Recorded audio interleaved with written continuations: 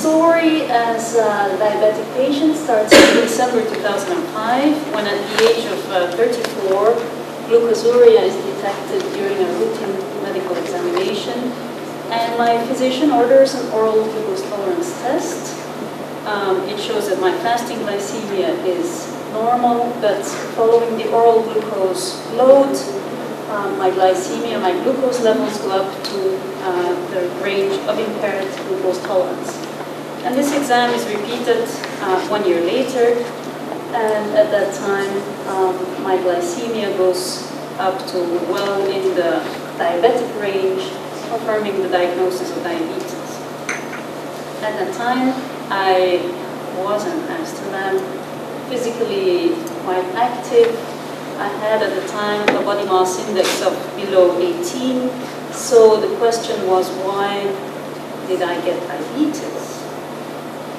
And my diabetologist made me uh, have two clamps. The first showed that I had an average insulin sensitivity as compared to a healthy uh, group of healthy individuals.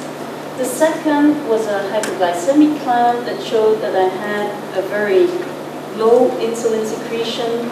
Um, I was below percentile 10 of the uh, insulin secretion of a healthy um, a group of healthy individuals. I had diabetes, I had very little insulin secretion, and the question was, why?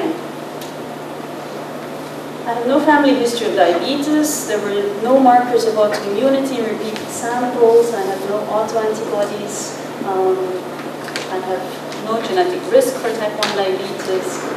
And a mutation in the gene uh, HNF1 alpha that is um, responsible for the, one of the common forms of monogenic diabetes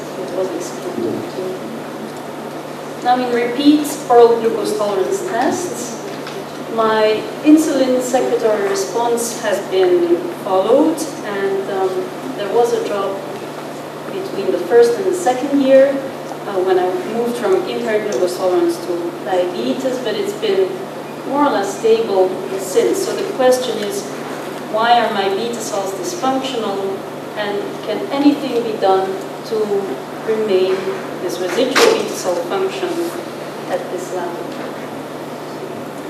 Now, I did want in this talk to go a little bit beyond my own experience, so what I did following the invitation to give this uh, talk is ask people that I see in my outpatient clinic what their hopes and expectations are. And this has been a very interesting uh, exercise, and I have had very different responses, uh, often unexpected. So what I'll do is take you through the responses that I've had from patients with diabetes. So in the domain of healthcare, people ask for epidemiologic studies to enable risk stratification uh, regarding outcomes of um, diabetes. For instance, when defining insurance policies and to avoid economic losses. In the, in the domain of public health, people asked to increase public awareness. They wanted more education regarding the role of diet and physical activity or any other factor that predisposes to disease to prevent and better manage uh, diabetes. And they've asked for increased involvement, involvement of politicians and policymakers. For instance, in Belgium, diabetes is not on the political agenda in the domain of research that would directly benefit the patient with diabetes, um, several, very many things have been brought up. So I divided them in short, medium, and long-term hopes and expectations. So in the short term, technological advances are uh, very important. I'll just show you this uh, azulejo that comes from the museum here in Lisbon, which is actually a gem, so you should really go visit uh, this museum on the museum night.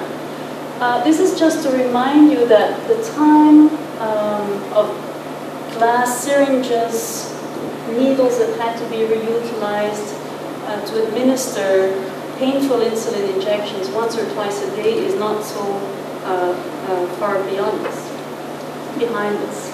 Um, so the short-term technological advances that have been made already include glucometers, continuous glucose monitoring, um, better insulin delivery systems such as pens for injection, insulin pumps, alternative routes of insulin administration, uh, including inhaled insulin. And then the combination of the glucose monitoring and insulin uh, delivery systems in closed loop systems. So progress has been made and more can be done. And this is a cartoon that um, an artist uh, got as an answer when he asked the question, uh, what is the standard of a happy life for you? So for the purpose of this uh, talk, um, we could make, we could phrase it as what is the standard for a happy diabetic life? And these short-term technological advances increase the, the, the ease, convenience and flexibility of diabetes treatment and care and um, make it such that diabetes impinges less and less on our daily life and activities. People did mention that um, the need for tight glucose control nowadays is worse than the insulin injections, which, have become fairly trivial. There is a need to be continuously aware of the disease, and some patients mentioned that chronic complications, um, the development of chronic, chronic complications is a sort of one. In the medium term, people ask for the cure of their disease, and they um, mention the following uh, things. Uh, to replace pancreatic beta cells by transplantation islets, or the generation of a source of insulin-producing cells from stem cells, or transdifferentiation of other cells from the body. They ask to halt the progression of the disease um, and bring and preserve the remaining insulin production in type 1 and type 2 diabetes. And they also ask for active interventions to prevent development of complications. In the long term, um, people want diabetes to be prevented altogether. And for this, uh, the identification of genetic and environmental factors that are responsible for diabetes development is. This would allow, on the one hand side, to answer the fundamental question, why did I develop diabetes? And on the other hand, to modify these causal factors and prevent disease. And actually, one of the patients I asked, what are your hopes and expectations? He said, but for me, nothing. The only thing that he um, hoped for was to be the last generation to develop diabetes.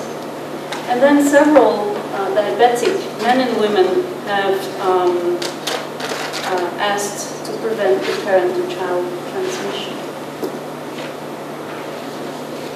So, in the discussion of these hopes and expectations with people, uh, one of my patients recalled a conversation that he had with a colleague, with a colleague at work who is deaf. And his colleague had asked him, would you exchange having diabetes with being deaf?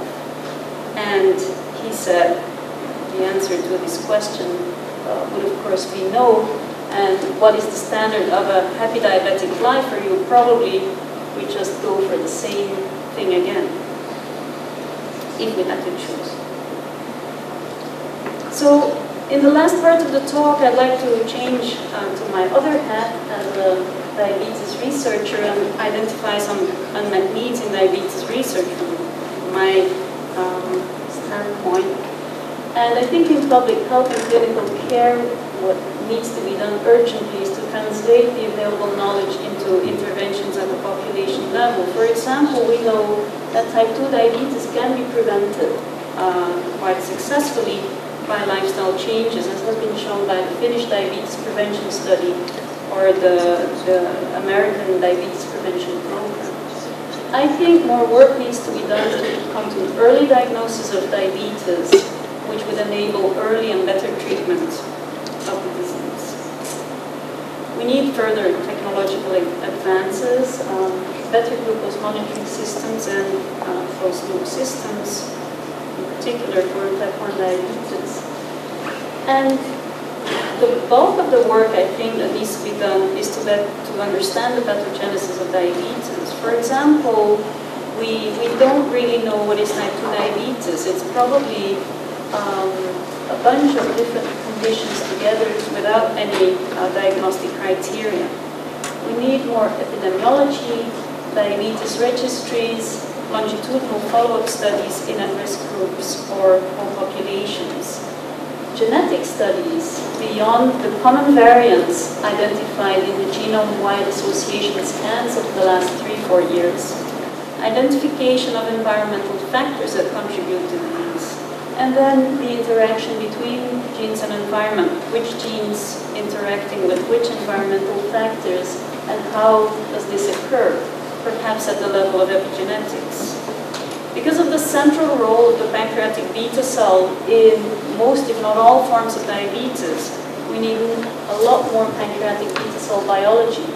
And this would be helped by um, human tissue banks and biobanks, as for example, uh, the nPOD initiative of the JDRF, which makes human pancreas available to scientists around the world.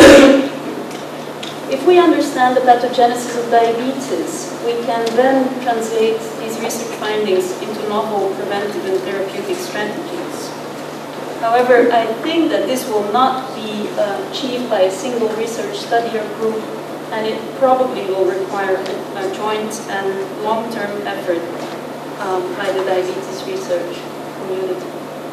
Thank you for your attention.